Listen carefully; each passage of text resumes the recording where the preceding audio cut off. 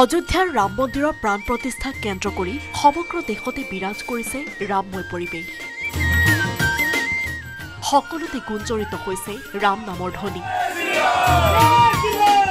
কিন্তু অযোধ্যাৰ বাদেও দেশৰ আন এটা প্ৰান্তত একেটা দিনতে প্ৰাণ প্ৰতিষ্ঠা হ'ব আন এটা ৰাম মন্দিৰত। এই দৃশ্য কৰ্ণালৰ পিছলীয়া গাঁৱৰ। ইতিমধ্যে পিছলীয়াৰ এই ৰাম মন্দিৰ সাজু কৰি তোলা হৈছে প্ৰাণ প্ৰতিষ্ঠাৰ বাবে। এই মন্দিৰটো নিৰ্মাণৰ আঁৰতো আছে এক কাহিনী। এজন হনুমান ভক্তৰ সপোনৰ ফচল পিছলীয়াৰ এই ৰাম মন্দিৰ। ইয়াত এটা সৰু হনুমান মন্দিৰ আছিল। যিদিনা ৰাম মন্দিৰক লৈ ঐতিহাসিক ৰায়দান আহিছিল সেইদিনাই সেই গাঁওখনৰ লোকজনে দেখিছিল এটা সপোন। সপোনত হনুমান আহি তেওঁক সেই স্থানত ৰাম মন্দিৰ নিৰ্মাণৰ কথা কৈছিল নিৰ্মাণৰ কাম আৰম্ভ কৰিলেই লাহে লাহে মন্দিৰ নিৰ্মাণৰ বাবে দান বৰঙণিও পাব বুলি উল্লেখ কৰিছিল সপোনত। আৰু সপোনত কোৱাৰ দৰে আৰম্ভ হ'ল মন্দিৰ নিৰ্মাণৰ কাম। দুহেজাৰ বাইছ চনত ভূমি পূজন কৰা হয় এই স্থানত। তাৰ পাছতেই আৰম্ভ হয় মন্দিৰ নিৰ্মাণৰ কাম। সপোনত কোৱাৰ দৰে লাহে লাহে মন্দিৰ নিৰ্মাণৰ বাবে জমা হ'ল টকাও। তাৰ পাছৰ দৃশ্য এয়া।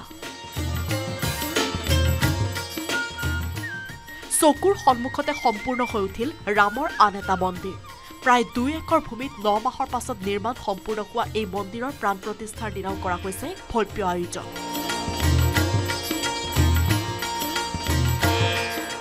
ৰামলালাৰ আগমনক লৈ এই গাঁৱৰ সকলো অপেক্ষাৰত। जगह फैसला है ना उस टाइम मेरे को सपनों आया। सपने हनुमान जी दिखाई दिए उन्होंने मेरे को कहा कि भाई राम मंदिर का निर्माण कर दो।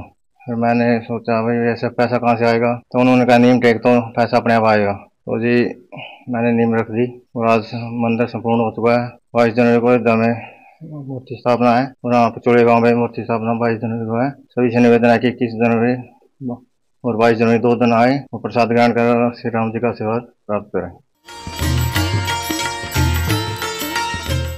অযোধ্যাত চলি থকা আয়োজনৰ মাজতে কাতিহাৰৰ জগন্নাথপুৰ গাঁৱৰ এটা দৃশ্যই হতচকিত কৰি তুলিব আপোনাক। অঞ্চলটোত কেইবা একৰ ভূমি সামৰি আছে শ শ বছৰ পুৰণি এডাল বটবৃক্ষ। সেই বটবৃক্ষডালত একালত বাস কৰিছিল গৰুৰ পক্ষীয়ে। কিন্তু বিগত কেইবা বছৰ পূৰ্বে সেই স্থান ত্যাগ কৰিছিল গৰুৰ পক্ষীৰ জাকটোৱে। সকলোকে আচৰিত কৰি পুনৰ জাকে জাকে গৰুৰ পক্ষী উভতি আহি বাস লৈছেহি এই বটবৃক্ষডালত ৰামায়ণ কালত গৰুৰ পক্ষীৰ ভূমিকাক স্মৰণ কৰি ৰাম মন্দিৰৰ প্ৰাণ প্ৰতিষ্ঠাৰে সংগতি ৰাখি গৰুৰ পক্ষীৰ আগমনক লৈ উৎসাহী হৈ পৰিছে গাঁওবাসী। News desk report news eighteen Assam north east.